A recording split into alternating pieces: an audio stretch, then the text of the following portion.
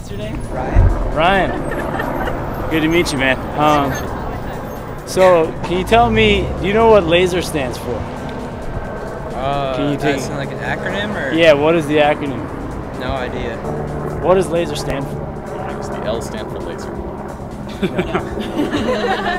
Another guess. Does the L stand for light? Yes. That's a good guess. Bingo, we got one. Next.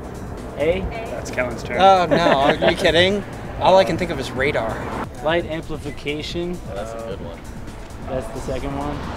Any ideas? Synchronization or something? Stimulated Emission. emission. Oh, yes. Got it. And the final Radiation. one. Yes. Yeah. We have a winner. and your prize is um, YouTube fame. YouTube fame. Where can you find lasers in your daily life or in All of the optical drives that I work on. optical drives? good one. Brilliant. A couple things in society that use lasers. A couple Uh, of devices, Feel like pointers, obviously. clearly. CD players, Oh, that's right. DVD. Yeah, like I guess I do like uh, video game consoles also. Yeah. The, uh, What can you guys think Right. of? Other things? Supermarket scanners. Barcode readers. Oh, yeah, that's right.